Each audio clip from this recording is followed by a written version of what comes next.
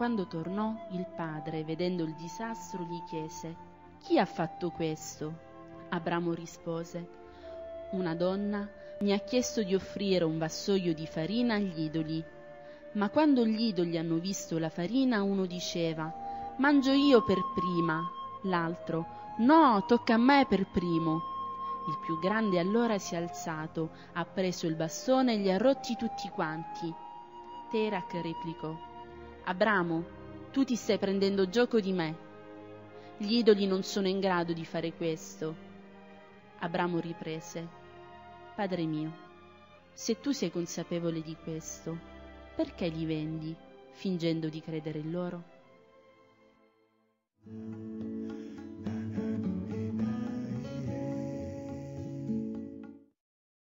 Poi Terak prese Abramo, suo figlio, e Lot, figlio di Aran, figlio cioè di suo figlio, e Sarai sua nuora, moglie di Abram suo figlio, e uscì con loro da Ur dei Caldei per andare in terra di Canaan.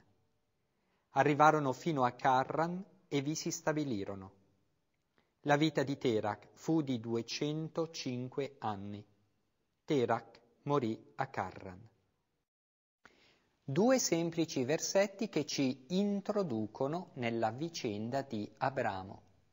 Abramo aveva, nasce in una famiglia pagana, ha un padre pagano, che lo obbliga probabilmente ad un passo che Abram non si sarebbe mai sognato, quello di mettersi in cammino per un lungo viaggio.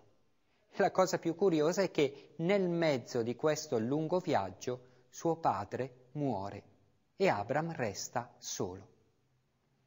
Abram resta solo ma con nel cuore un valore forte che il padre, pur essendo pagano, gli ha regalato, quello di saper educarlo al cammino, quel cammino che lo accompagnerà davanti lungo tutta la sua esistenza e che rappresenterà il fondamento della sua grande fede.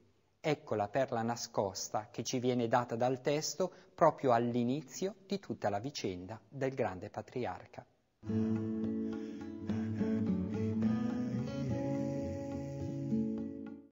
Incontriamo il nostro personaggio, il nostro compagno di viaggio, Abramo, focalizzando un po' la nostra attenzione sulla dimensione più umana eh, del, del cammino di Abramo. Abramo viene chiamato dal Signore che gli dice Vattene dalla tua terra, dalla tua parentela, verso la terra che io ti indicherò. La vita e la nostra vita è una chiamata, una chiamata a camminare, a camminare verso una terra che il Signore indica, ma il Signore ha una pedagogia tutta particolare, perché indica la strada cammin facendo. Don Alberione, il fondatore della famiglia Paolina, osava dire che Durante il cammino il Signore accende le lampadine man mano che occorre, non le accende subito, proprio perché questo mistero si possa svelare a noi e agli altri, a quanti ci circondano, progressivamente. E man mano che si cammina si scopre e si prende consapevolezza di quello che si è nella propria fragilità, ma anche nella propria bellezza. Ovviamente ciascuno di noi è chiamato a trovare il passo giusto. Per chi è pratico di, delle scalate in montagna, sa bene come se si decide di scalare una montagna bisogna fare attenzione a non correre troppo e a neanche ad andare troppo lentamente. La sfida è quella di trovare il passo giusto e di mettere prima un piede e poi l'altro, il piede che rimane dietro è il piede del passato, della memoria, di quello che è stato, di quanto abbiamo vissuto. Il piede che va avanti è il piede che osa, il piede che rischia, il piede che fa lo sforzo, come è stato per Abramo, di camminare nonostante non sappia quello che trova più in là.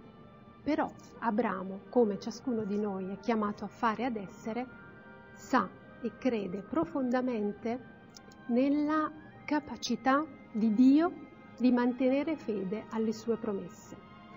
Perciò, dal punto di vista umano, cosa possiamo dire per la vita di ciascuno di noi?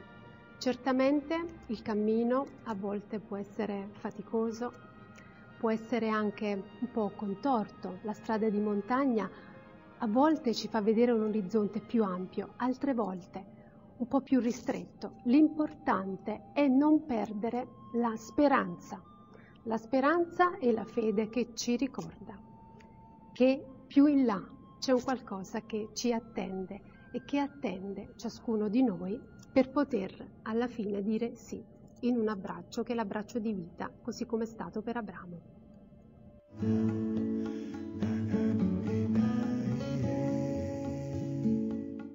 Al termine di questo nostro approfondimento su Abramo, suggeriamo un testo, un testo per continuare a approfondire questo personaggio. Il testo è scritto da un biblista, André Wenen, da Adamo ad Abramo, l'errare dell'uomo la ricchezza di questa prospettiva che ci introduce nella figura di Abramo attraverso il percorso lungo i primi dodici capitoli del libro della Genesi, ci aiuta a eh, entrare a contatto con l'esperienza del patriarca da un punto di vista narrativo e antropologico. Quello, in altre parole, che è importante è tenere presente che Abramo non spunta dal nulla nella storia della salvezza, ma si pone in continuità con l'esperienza di quei grandi scenari dei primi capitoli della Genesi, lo scenario di Adamo ed Eva, lo scenario di Caino e Abele, di Noè e della torre di Babele. Abramo interviene a sanare quei nodi che proprio nei capitoli precedenti sono sorti nella storia della salvezza. Ecco allora un ottimo testo per approfondire.